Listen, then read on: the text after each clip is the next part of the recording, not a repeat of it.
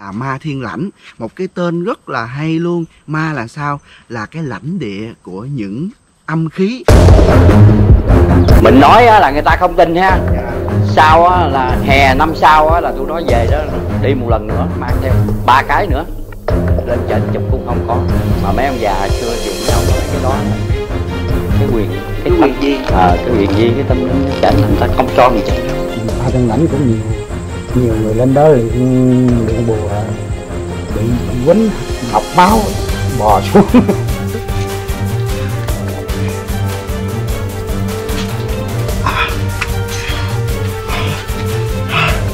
Tới đây là gần gần tới nha mọi người. Ờ, nó xuống vậy nó kể này xuống chùa nó kể.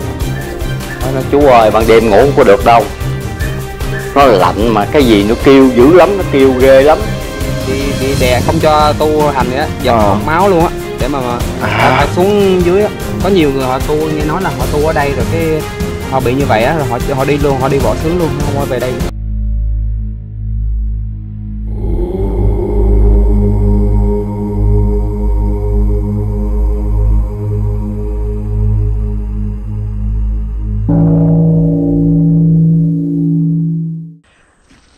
Chào mọi người thì hiện tại là 3 giờ sáng tại Hòn Sơn. Thì tại sao Quang di chuyển giờ này để làm một video cho mọi người? Hiện giờ nơi Quang đang đứng là Ma Thiên Lãnh. Một cái tên rất là hay luôn. Ma là sao? Là cái lãnh địa của những âm khí. Cho nên là Quang nghĩ là cái khu vực Ma Thiên Lãnh á, cho chúng ta rất là nhiều câu chuyện hay Với những giai thoại cực kỳ à, lý thú. Cho nên là đi giờ này chủ yếu là lên đúng khoảng 4 giờ tới 5 giờ Để chúng ta có thể là ngắm được bình minh sáng rất là đẹp trên Hòn Sơn nha. Núi Ma Thiên Lãnh á, là đỉnh núi cao nhất của Hòn Sơn với cái à, chiều cao là 450 m luôn nha mọi người. Và cái núi này á, thì nó gắn liền với rất là nhiều cái giai thoại hay về à, những cái sự tích, những cái câu chuyện truyền thuyết linh thiêng ma quái. Cho nên là đi giờ này cũng là một cái giờ rất là hay. À, mong là có những cái thước phim cực kỳ chân thực gửi đến mọi người nhé. Mọi người đi lên ma thiên lãnh á tránh mấy con mối càng này nha mọi người. Ban đêm cũng như ban ngày á nó chích rất là nhức cho nên là đi phải tránh những con mối càng như thế này. Đó mọi người thấy không? Giờ này là 3 giờ rưỡi rồi nha mọi người. Và đi á, buổi tối á, thì nên có đèn như thế này để đi cho nó dễ thấy đường. Vì tránh những cái tình trạng như mấy con kiến rồi mấy cái con rừng á, nó ra rất là nhiều. Nhất là cái mùa mùa mưa sắp xuống như thế này nè ông à, thấy chặng đường không mọi người? 3 giờ rưỡi khuya đi lên ma thiên lãnh nha. Đây là một trải nghiệm vô cùng thú vị đối với những cái bạn mà thích khám phá nè tò mò nè.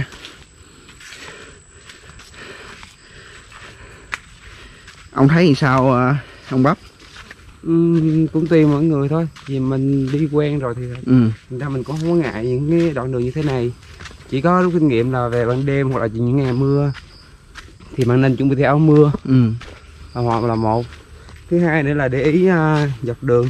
Có những con à, kiến mối hay dễ cắn thôi. Rắn nữa nè. Ừ, rắn thì à, mình thấy thì à, nó tự động bò vào ạ. Mình thấy thì mình cũng đập đập cho nó bò vào để mình tránh. Tức là mình phải nhìn ở dưới chân. Nhằm khi mình Đúng đi mình rồi. không để ý á mình đạp lên thì thứ nhất là ảnh hưởng cho mình nè. Còn nếu mà Tội mà nữa. thứ hai là ảnh hưởng cho nó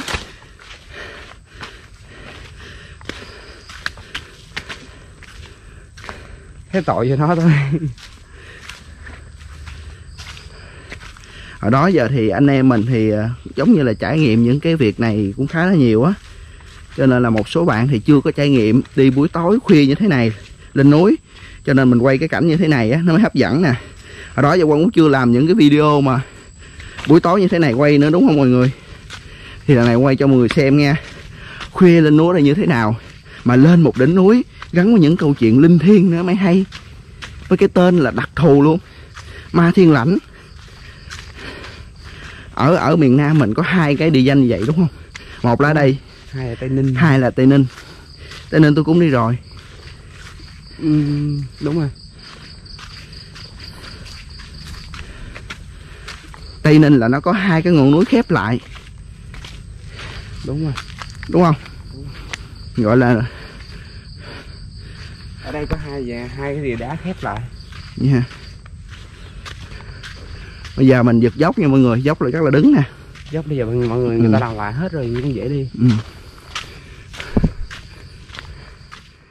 Hiện giờ thì Quang đã đến Phật Lộ Thiên thì à, khoảng à, 45 phút không? Từ chân núi lên đây mà nghỉ hai chập là khoảng 45 phút lên tới đây. Thì anh em á à, mình à, nói chuyện hồi tối gần tới 2 giờ rưỡi 3 giờ sẽ đích lên đây. Cho nên là để thực hiện những cái phim gì á buồn ngủ thế bà cố nội. Mày đi. Đi lên đây mà quay phim cho mọi người cho nên là cả một cái cái điều rất là lý thú. Thứ nhất là bản thân quan cũng đang tò mò đi buổi khuya lên trên ma thiên lãnh như thế nào cái khung đường như thế nào. Thì bây giờ là đã tới ngôi à, chùa gọi là Phật Lộ Thiên. Thì mình lên mình cúng một cái rồi tiếp tục cái chặng đường mình nha mọi người. Đó không biết là trên đây thờ cái gì không? Đây là thờ một vị uh, Phật Thích Ca. Thích ca. À thích ca mâu ni. Mà chứ không phải là cái miếu chùa đâu chỉ là một cái tượng không ngoài Ờ. trời vậy đó. Nên đấy mọi người mới hay gọi tên là Phật Lộ Thiên á. Là do trước đây là mình nghe kể là đem cái tượng Phật lên trên à, ngôi chùa ở trên núi á. Ừ. Mà đem tới đây thì chắc là nghĩ mệt quá. Rồi dừng chân ở đây thì chắc là cảnh đẹp nên thành ra là không ông có lại đây ông không không đi. nữa không đi nữa là không có khi lên được nữa không lên kia lên được nữa Ồ. Đây nha mọi người.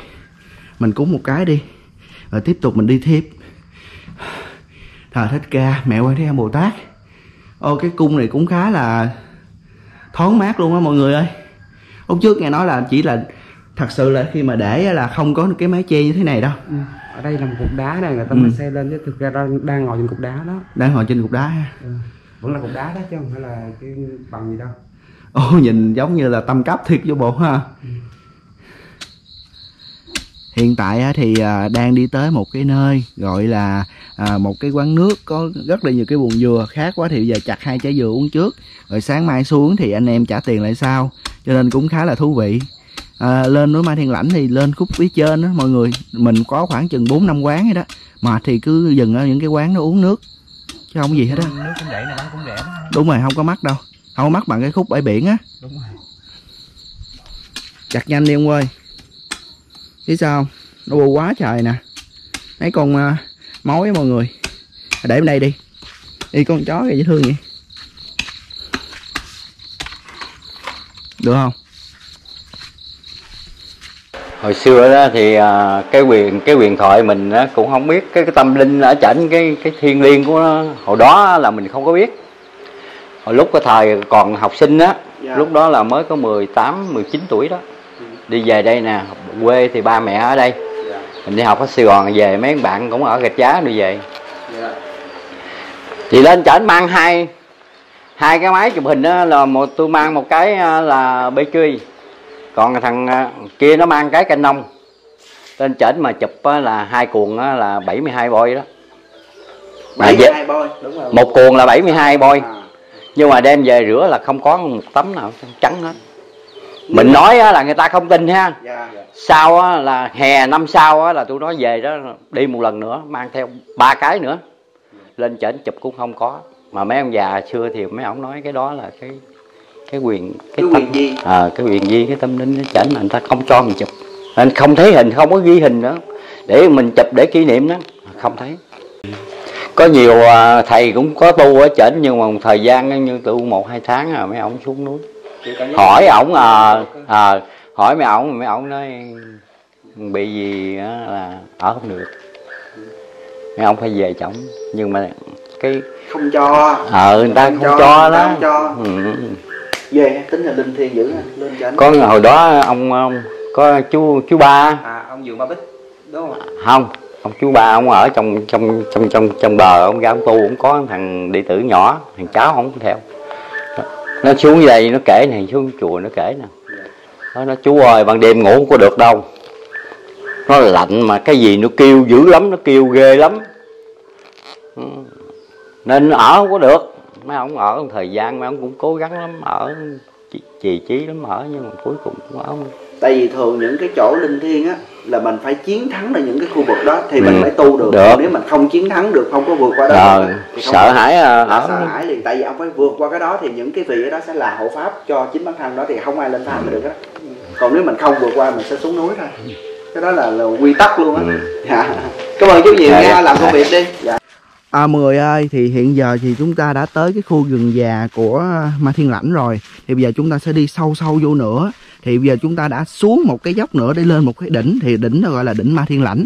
Thì à, cái đoạn đường này cũng gần tới rồi.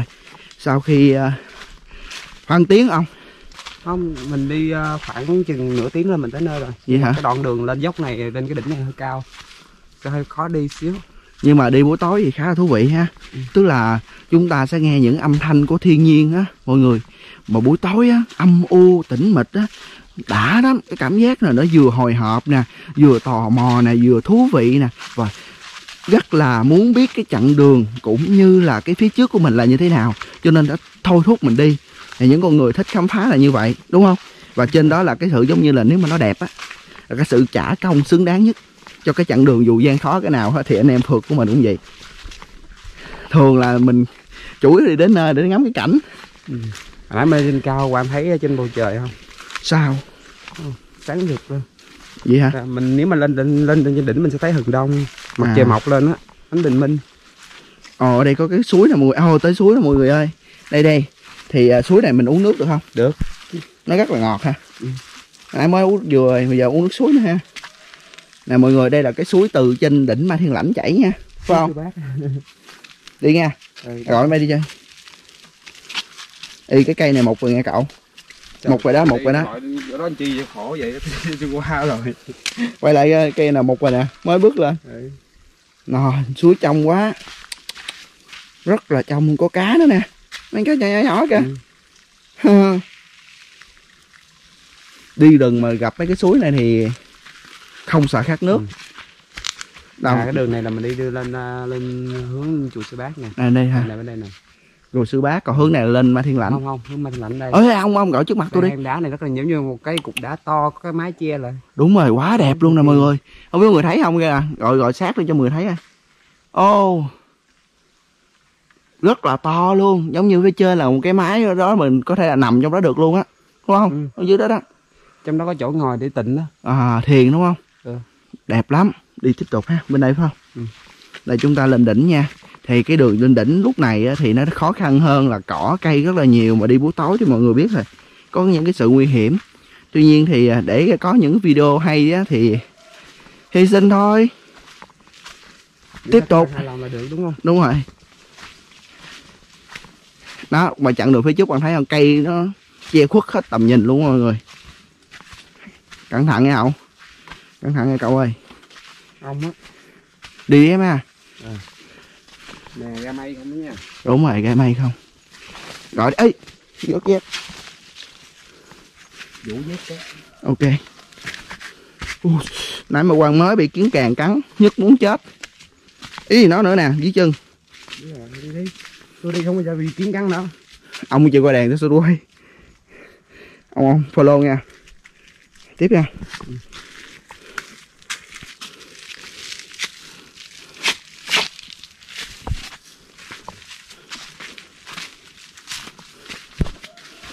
Nhờ cây kìa mọi người ơi. Bích hết trơn nè. Gán chen đường để đi. Ô Mọi người thấy không? Bích hết đường luôn. Giờ nè 4 giờ mấy sáng rồi nha mọi người. Dưới chân dưới chân. Dưới chân dưới chân. Trên đầu trên đầu. Wow. Nhanh chân qua bước nhanh chân qua. Ok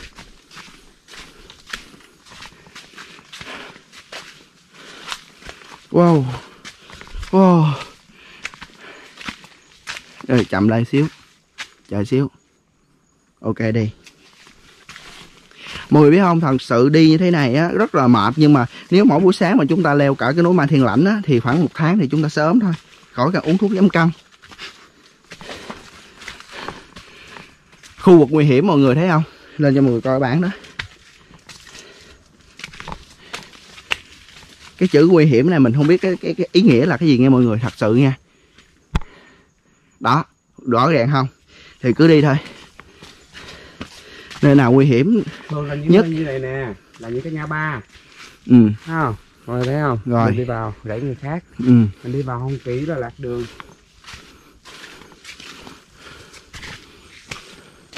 Dốc lưng cao đứng á. Nguy hiểm đó nghe mọi người nè. Đúng rồi. Nguy hiểm nguy hiểm.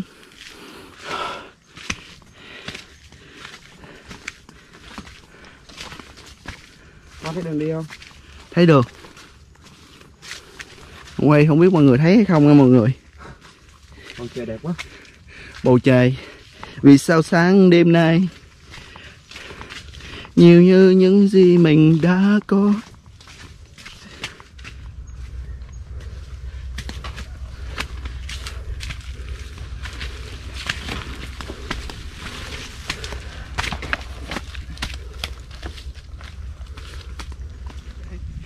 Hiện tại thì Quang đang có mặt tại hang gió của đỉnh Ma Thiên Lãnh. Thì qua cái hang gió này rất là đặc biệt, tại vì hai tảng đá lớn nó tách ra và nó hút gió từ ngoài biển thổi vào. Vì ở trên đây rất là cao, mọi người cho nên gió rất là mát luôn. Cho nên là đây là cũng là một cái cung đường khá là thú vị, mà ta gọi là hang gió. Nhưng thật sự là chỉ là hai tảng đá nó tách rời nha thôi. Đó là như vậy. Hiện giờ đang ờ, đi trong lòng nó. Ờ, cảm giác là cái tảng đá này rất là to nha. To, rất là to. Ít nhất cái cái cái chiều cao của tảng đá này, Quang nghĩ đâu khoảng 5 mét không không Năm- đá này 7 mét 7 mét có khoảng 7 mét đó mét đó chứ. Đúng rồi. Mà chưa tính âm với đất. Đúng rồi. Cái chiều cao từ mặt đất lên tới trên kia là khoảng 7 8 mét cả chục mét á. Hang gió này nó kéo dài khoảng bao nhiêu mét ta? Ừ, một đoạn thôi nó khoảng chừng 15 20 mét thôi. Ok. Mà cực kỳ mát. Cực kỳ mát luôn mọi người. Cái gì đá đặc biệt thuộc đặc thù không? Bên kia to nhưng mà đây nó mỏng như này. Mỏng ra. Nó dùng nó gớt một cái miếng lại đó mọi người. Đây nè. Người thấy không nó mỏng xét giống như là cái lưỡi á ha. Lưỡi hái chặt xuống tảng đá gớt ra vậy đó. Khá là thú vị. Hình thành cái gì? Cả ngàn năm cả triệu năm luôn á.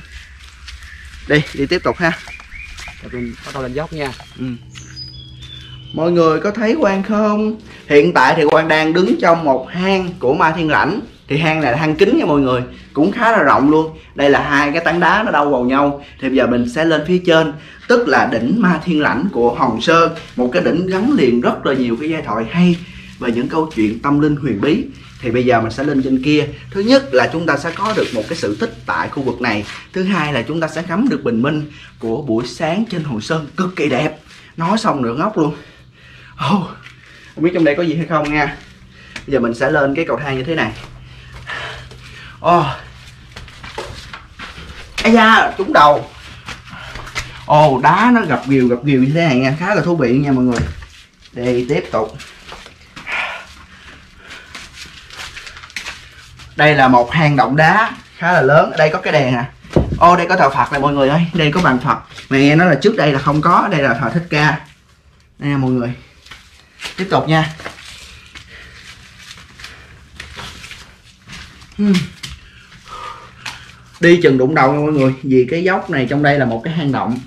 Và nó phía trên này đó thì nó không có cao lắm. Cẩn thận. Ô rất là khó đi. Đá là lục cục lòn hòn lòn hòn luôn. Sắp lên đỉnh rồi. Chúng ta sẽ lên được đỉnh thôi. Cái đỉnh nó sắp ra đỉnh rồi. Ờ, à, mùi biết không? Một tay quan bấm đá một tay quan cầm cái máy quay và cái miệng thì nói chuyện cho mọi người hiểu á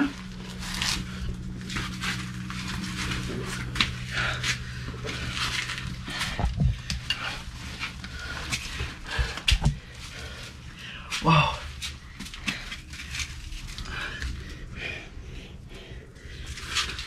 À. tới đây là gần gần tới nha mọi người oh.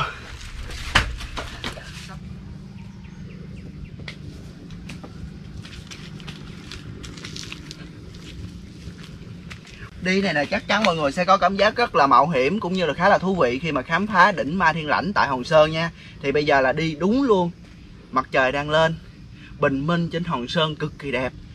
Thôi, chúng ta lên trên kia nhé ok, đi thôi.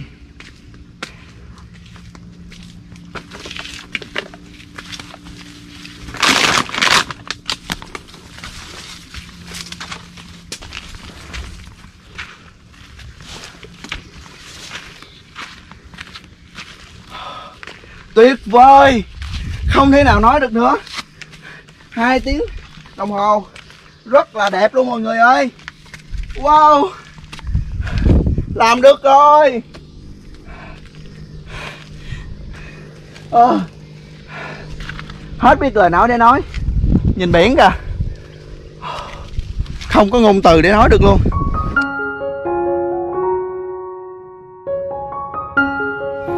Hiện tại thì quang đang ngắm mặt trời mọc trên đỉnh Ma Thiên Lãnh của Hòn Sơn. Thì cũng là lần đầu tiên Quang đến Hòn Sơn để ngắm mặt trời mọc cực kỳ đẹp như thế này. Ở một cái đỉnh núi cao nhất của Hòn Sơn mà ngắm mặt trời mọc tuyệt vời lắm mọi người. Thì ờ, cái cảm xúc bây giờ thì mình không thể nói diễn tả được cái cảm xúc cho mọi người hiểu á. Tuy nhiên thì đi một cái chặng đường 2 tiếng đồng hồ từ 3 giờ sáng tới bây giờ là khoảng 5 giờ rưỡi gần 6 giờ rồi. Thì uh, cho mình nhiều cái xúc cảm lắm từ cái à, sự khó khăn mệt nhọc của chặng đường đi nè rồi thấy được cái khung cảnh tuyệt vời khi chúng ta đến nơi nè cộng thêm cái thời tiết trên đây á, nó mát mẻ nó dịu nhẹ không thể diễn tả được mà nhìn xuống bãi biển dưới á, những chiếc thuyền đánh cá nó đã cứ lấp lửng lấp lửng mà nó bắt đầu nó ra khơi. Rồi có một số chiếc đang neo đậu lại để bán à, trong cái chuyến đánh cá vừa tối qua. Rồi bao nhiêu cái cảm xúc mình. Bờ biển bây giờ rất là nhẹ nhàng luôn nó nó phẳng lặng mà nó không có một gợn sóng luôn mọi người. Thấy không? Biển bây giờ không một gợn sóng luôn mà nhìn xa xa xa là nó không có một cái bờ bến nào hết á. Giống như cái cuộc sống của chúng ta chứ cứ đi mãi đi mãi mà chúng ta không biết được cái kết thúc là như thế nào trừ khi mà chúng ta mất đi thôi đúng không? Cho nên là uh, không biết diễn tả cái bầu trời của sáng nay luôn. Nó rất là nhiều hình thù đẹp mọi người thấy không? Nó nó chảy dài hơn bãi biển nó bao bọc lên như thế này nè. Mỗi hình thù trên từng đám mây là một cái điều rất là thú vị mà khi chúng ta chịu tưởng tượng ra. À, về mặt uh, lý thuyết là như vậy nhưng về mặt huyền bí thì mỗi người sẽ có một cái cảm nhận riêng của từng bạn. Ồ oh, mặt trời lên rất là đẹp luôn người ta ngày xưa mình hay miêu tả mặt trời mọc giống như lông đỏ trứng gà. Ngày xưa hay miêu tả cái kiểu ngày xưa mà mình làm tập làm văn á. À, hiện giờ thì quang đang có mặt tại đỉnh ma thiên lãnh và đây là những cái dãy núi của ma thiên lãnh. Nó gồm có 7 đỉnh núi mà mỗi đỉnh núi thì nó lại có những cái câu chuyện riêng. Tuy nhiên thì không phải bảy đỉnh núi đều có tên nha chỉ có một số có tên thôi. Nói gì cho người ta hiểu. Và ở đỉnh ma thiên lãnh này lại có một câu chuyện khá là thú vị luôn. Thì bây giờ mình sẽ nhờ bạn bắp kể về cái câu chuyện về cái đỉnh ma thiên lãnh này. Ha. À, thật sự nha thì à, đến bất cứ một cái địa danh nào đẹp của một vùng miền hay là một địa phương nào đó thì cũng có một cái sự tích thì quan không hiểu là tại sao gọi là ma thiên lãnh ừ, ở nơi đây thì hồi trước á ừ. cái tên của nó là mai thiên lãnh chứ không phải là ma ừ. thì bởi vì trên đây rất là nhiều những cái à, cái mai rừng á ừ. rất là đẹp lắm những là những, những ngày cuối năm hoặc là những ngày đầu tháng giêng đó ừ. thì mai nở nở rất là đẹp Ồ. nhưng mà sau này có nhiều uh, câu chuyện về uh, huyền tích về uh, ví dụ như về ông bảy trực thăng hay về những người uh, tu sĩ ở đây ông bảy trực thăng là sao ông Bảy Chư Thăng là ổng là một người à, giống như là người cách mạng đi theo à, quốc gia Rồi, ok. đó. Rồi sau này thì à, khi mà về đây về đây thì à, lên đây nè. Và ông ông hỏa thiêu ông tự thiêu như trên này. Tự thiêu trên đây luôn? Tự thiêu trên là tại trên cái đỉnh này luôn? Tại đỉnh này luôn. Là chỗ nào một tí ông chỉ tôi được không? Ừ, mình đi trên đỉnh này thôi chứ lúc đó là mình cũng còn nhỏ thôi mình nghe những câu À. chuyện nó kể lại thôi. Thì à, bà bảy thì vẫn còn sống á bà ở bên bãi bốc. Là cái nơi mà mà gần cái à, khách sạn phương nam á À, ok. phía, phía trong á ừ, ừ, chỗ ừ. cầu cảng phía trong á đó. thì à, dần dần rồi à, những cái người tu sĩ lên đây họ Ừ. tu rồi có người thì bảo là đi lên trên hang trong hang này thấy xác người thấy xương rồi dần dần người ta kêu là ma thiên lãnh tại vì gắn liền với những cái ờ, cái cái những cái câu chuyện ma câu mị chuyện ma mị Đúng rồi rồi. gắn liền với những cái giai thoại là cực kỳ Ừ. quyền bí cho Đúng nên rồi. là gọi là ma thiên lãnh Đúng chứ rồi. ngày xưa gọi là ma thiên lãnh đúng rồi ok hiểu rồi thì à, nếu mà đến với cái khu vực Hòn Sơn thì chúng ta có thể di chuyển từ ở phía dưới á lên tới trên đây là khoảng 450 m thôi. Tuy nhiên là nếu mà ban đi ban ngày thì có thể là nhanh hơn. Ban đêm thì mình đi mình gọi đèn này kia nọ để chạy tới 2 tiếng đồng hồ. Cho nên là đây là một trong những cái khoảnh khắc cực kỳ tuyệt tuyệt vời đối với Quang tại vì sao? Tại vì buổi sáng mà bình minh lên mà ngắm bình minh mà ngồi nói về những cái câu chuyện linh thiêng tại nơi đây nữa thì Ừ. không còn gì để để để bàn cãi nữa thật sự là như vậy thì đây là một cái đỉnh gọi là đỉnh cao nhất của Hòn Sơn cái đỉnh cao nhất của Ma Thiên Lãnh. Đúng thì chúng ta một tí nữa thì sẽ đi xuống gọi là săn tiên. Thì nghe nói là săn tiên ngày xưa một số cô tiên xuống đây gọi là à, chơi đùa nô đùa ở dưới đây. Đúng trên đây thì có bàn cờ gọi là một số cái à, tiên ông ngồi trên đây đánh đánh cờ kiểu vậy. À, đang đang quay thì nhìn xuống tại bản tảng đá nó quay lên nhìn ngược hai anh em tôi thì à, mong là cái video này sẽ cho mọi người thêm rất là nhiều cái thông tin về Hòn Sơn về những cái câu chuyện hay của Hòn Sơn những khung cảnh đẹp của Hòn Sơn và những con người đây đây rất là chân chất thật thà tại vì dân miền Tây mà mọi người.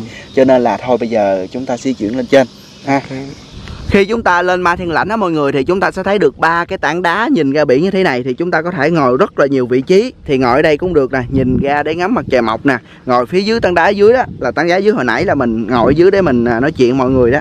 Đứng ở đây không có thấy được. Đây. Đó tảng đá dưới đó đó. Mình ngồi ngoài đó để mình nói chuyện mọi người để ngắm mặt trời mọc cái chỗ đó cũng được hay là chỗ đó chúng ta có thể ngồi thiền được ha.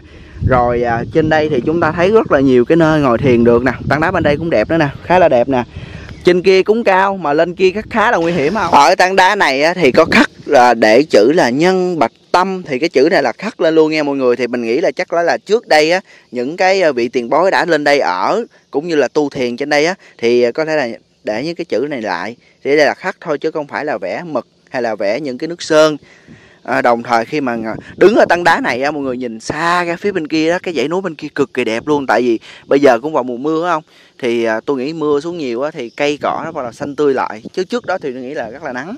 Không thực ra thì à, ngày nắng hay ngày mưa thì à, trên đây vẫn đẹp á. Vậy đó tại vì khu rừng nó bị dày á. Ừ. thì à, đất ở dưới nó ẩm nó tốt. Ừ. thành ra ừ. cây vẫn tốt vẫn tươi tốt. Nhưng mà lên đây tôi cảm giác được cái điều rất là thú vị là uống nước dừa rất là ngọt uống nước dừa trái nào cũng ngọt hết. uống nước dừa chưa trả tiền nó nó rất là ngọt. Chỉ có ông này ông cái tướng ông mới chạy lên được thôi chứ quan là chạy lên không được đâu mọi người.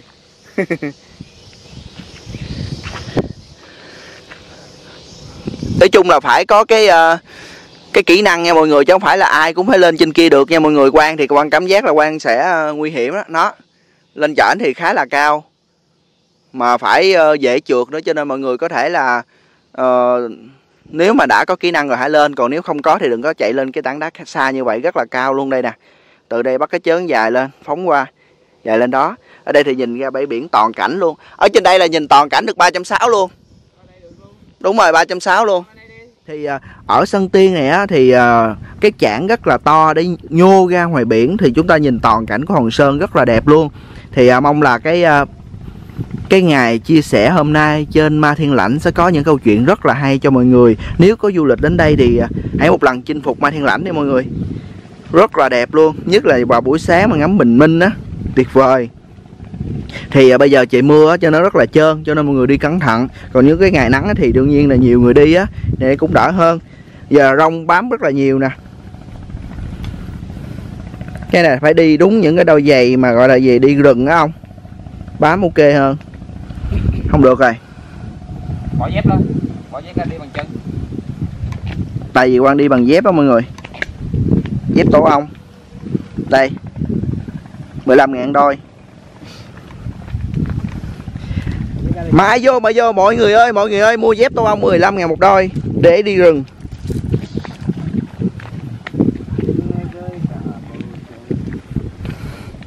À ở đây có mẹ quan âm đây Nhìn ra biển luôn. Hồi đó trên đây có mẹ quan âm ở đây không? Mẹ quan âm nhìn ra biển luôn ha. Ngồi trên đây thì à, nắng sáng rất là tốt luôn Nếu trên đây ngồi thiền cũng khá là im nè ha. Rồi trên kia mấy cái tảng đá ngồi thiền là im lắm luôn á. Ừ. Quá nhiều tảng đá ngồi thiền luôn. Ở dưới có hai cục nữa kìa. Ừ. Hai cục đã đã ha Tại nguyên ở đây có hai cục nằm chứ đó. Thú vị ghê luôn. Bên kia còn một dãy đá giống vậy nữa nè nhưng mà nó thẳng đứng hơn. Vậy đó ha. Cây cỏ rồi nó phủ nhiều rồi Chứ mình chỉ ngồi trên đây được thôi Chứ xuống dưới kia nguy hiểm đúng không? Nó trơn quá. Không xuống được. Mình mình xuống nếu mà trời nắng thì vẫn xuống được mà xuống cẩn thận thôi. Đúng rồi. Còn cái ghề đá bên kia nó không có giống như ghề đá bên đây nó khó đi hơn nhiều. Đúng không? hơn nhiều. Ừ. Ít ai đi á. Ông nhưng mà tôi muốn biết thêm ở đây có những cái câu chuyện nào hay nữa không? Ồ, ở đây nhiều câu chuyện cũng hay lắm chứ. Ừ. như ờ, về câu chuyện mà những người mà tu hành trên đây nè.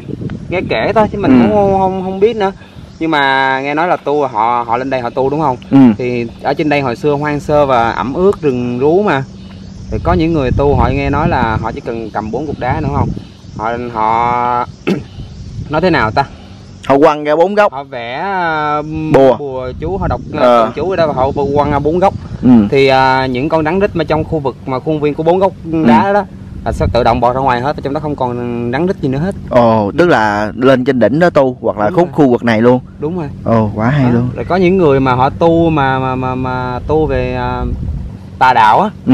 thì lên đây nghe nó bị giật đó. Giật tức là sao? Tức là ọc máu hay là bị, sao? bị, bị, bị, bị đè không cho tu hành vậy đó giật Ờ. ọc máu luôn á để mà, mà À. phải xuống dưới á. Có nhiều người họ tu nghe nói là họ tu ở đây rồi cái họ bị như vậy á rồi họ họ đi luôn họ đi bỏ xứ luôn họ không quay về đây nữa. Tôi hiểu rồi tức là ở trên đây chỉ lấy những cái điển thiên của chính thôi chứ nếu bệnh tà thì sẽ bị giật tức là chư vị ở đây Mình chư nghĩ- vị nào mấy cái ờ, sơn thần ở đây thì sẽ giật họ để không cho vậy. họ ở đây. Nhưng mà con nghe nói là ma thiên lãnh nó chở thì cũng linh thiêng lắm cũng nhiều câu chuyện hay lắm. Mà thằng lãnh cũng nhiều nhiều người lên đó luyện luyện bùa bị bị quýnh học máu bò xuống tức là cái địa chỗ đó là cũng nhiều người thấy là có có điển nhiều quá cho nên lên chảnh là học bùa nhưng mà học không được vì mấy chư thần nó đẩy xuống hết. À tức là chư thần ở chảnh là phải học thiện thì ok. Còn ờ, cũng khá là hay nếu mà lên đây thì mọi người cứ lấy một cái tâm thiện lấy cái tâm bồ đề cứ đi lên bình thường nhẹ nhàng thôi. Rồi mấy bạn đi du lịch thì mấy bạn không biết đạo thì thôi. Còn nếu biết đạo thì cúng lại hoặc là mình niệm phật này kia cho đàng hoàng. Thì chắc chắn là những chư vị ở đây sẽ phù hộ để mình đi được à, bình an hơn. Và ở đây thì à, sẵn đây nói luôn cho mọi người biết ha hồi lúc trước anh đến đây á quan tượng ở dưới là những cái cáp treo thôi mọi người nhưng thật sự đó không phải nha mọi người. Đó là đường điện nối liền dài nhất của Việt Nam từ ở trong đất liền ra biển thì hiện giờ đây là Hòn Sơn. Nó còn nói những cái hòn khác nữa không? À không cái hòn này hiện tại bây giờ nó chỉ nói từ đất liền ra tới hòn sơn Hòn thôi. Sơn thôi. Mà mình nghe nói là định hướng là sẽ à, làm cái đường điện đi nói Nam Du luôn từ Ồ. từ, từ đầu từ đây. Nhưng mà chưa thấy à, khởi à, khởi công nhưng mà thật sự là đạt cái đường điện gọi là dài nhất Việt Nam là xứng đáng luôn rất là đẹp luôn. Và đến đây thì có một em Kiki. Kiki Kiki Kiki nó đi theo nó dẫn đường nè. Nãy giờ nó dưới đây nó chờ và bây giờ đi xuống ờ, dưới sân tiên nữa đi được rồi xuống ờ, xuống đây nè. Thì nó nằm ở một cái quán ven đường thì mình đi sẽ đi theo đúng không? Đúng khá là dễ thương không mọi người. Nãy giờ xuống dưới làm gì vậy? Nó bắt con này con kia hả? Chơi. Chơi ha. Dưới dưới ngắm biển cái mòn hôn bình minh đó bạn. Bình minh đó ha ở đây mày thấy mấy chiếc tàu ở dưới á, nó dịu nhẹ mà biển cái này nó cũng trong mà nó không có sóng nhiều không nó, nó cứ bình yên nó, lặng tò luôn á nhẹ nhàng nhẹ nhàng. Ở đây mọi người nhìn phóng cái cảnh của mình á, gọi là phóng tầm mắt ra xa là chúng ta sẽ không thấy bờ bến nữa. Giống như cái cuộc sống của mình á bắp mình đi nhiều cái mình cảm giác nó không có bờ bến mình cứ đi mình cứ đi mình cứ đi tới thôi. Trừ khi mà mình không còn nữa thì mình mới không đi tiếp thôi chứ còn là phải đi phải đi. Đúng rồi giống như cuộc đời mình vậy thôi mình đâu có Ừ. biết trước được tương lai nó sẽ như thế nào đâu và phía xa xa kia cũng vậy mình không hình dung được nó là cái gì hết á. Đúng rồi. Khi mà bạn đi thì cứ mình cứ à, tiếp tục mà đi. đúng cái con đường của mình, Ừ. mình đi thôi mình định hướng con đường mình như thế nào thì mình đi như thế đó và cứ thẳng con đường cứ đi giống như là lương tâm của mình như vậy. Ừ. Nhưng mà ở đây thì nhìn được ra cái đảo đằng kia là Hòn Tre nè. Đúng rồi. Còn xa phía bên đây thì cũng nằm khuất bên kia là Nam Du. Thường đi mấy cái rừng như thế này mọi người là người ta sẽ tránh kêu cái tên thật của nhau. Thường là mấy bạn phượt sẽ đặt cái tên riêng để mình gọi. Ví dụ như là à, Quang Châu thì gọi là Châu à, Bạn à, Thanh Ngô thì gọi là Bắp. Thì kêu không có đúng tên như vậy đó thì nhờ nhầm khi mình mình mình kêu như vậy mà ai kêu đúng cái tên mình á thì mình không có quay lại. Không bắp đúng rồi tại vì à, thường thường đi rừng á có nó có nhiều điều cấm kỵ như thế này Ừ. giống giống như là khi mà nói về à, tên á ừ. thường thường mình mình nên kêu tránh đi bởi vì à, có thể là dọc đường mình đi mình có thể là mình mình gây thù chút oán với những Ừ. cái à, những con linh kia Ừ. hoặc là mình vô tình mà mình làm người ta thích người ta muốn giữ mình lại á thì họ sẽ gọi tên của mình mình kêu lên là dính à, nên thường thường là mình sẽ không gọi tên tên tên tên gốc như vậy thì những người à, ở đây họ sẽ không biết tên thật của mình.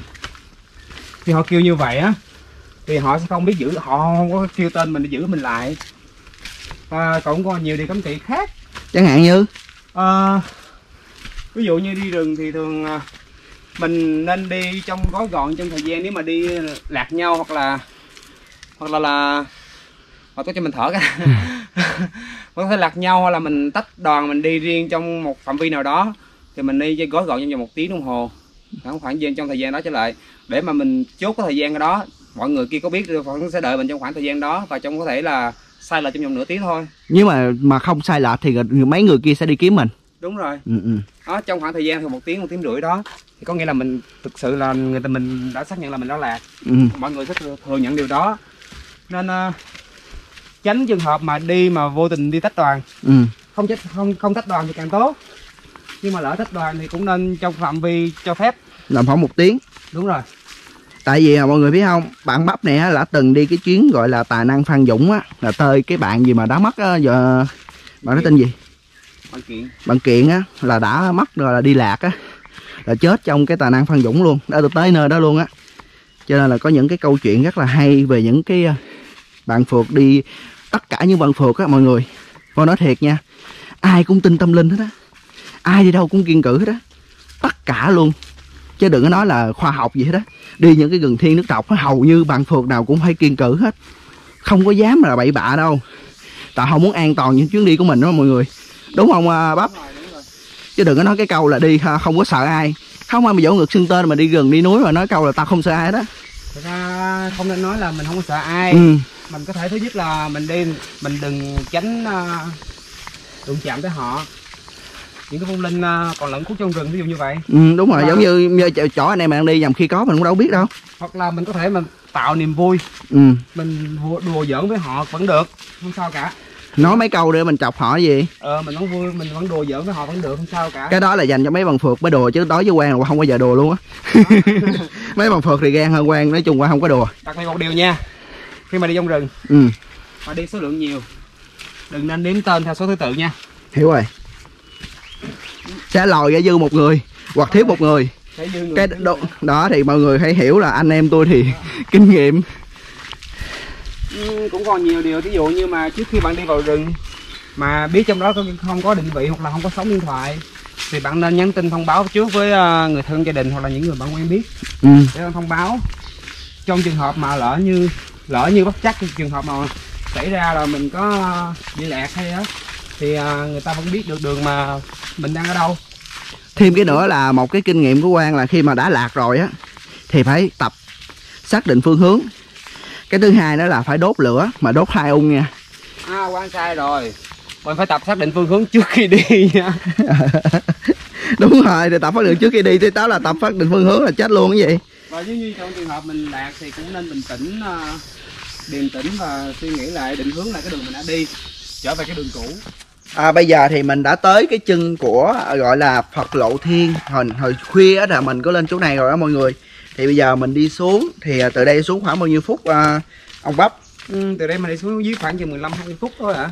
Nói chung là bây giờ thì à, mình sẽ kết ờ, thúc cái cuộc hành trình ngày hôm nay với những cái điều rất là đặc biệt tại đỉnh Ma Thiên Lãnh Xin chào và hẹn gặp lại mọi người ở video kỳ sau và đừng quên đăng ký, nhấn thêm chuông để Quang có cơ hội làm video tiếp theo hơn nữa nhé. Xin chào mọi người. Bye bye.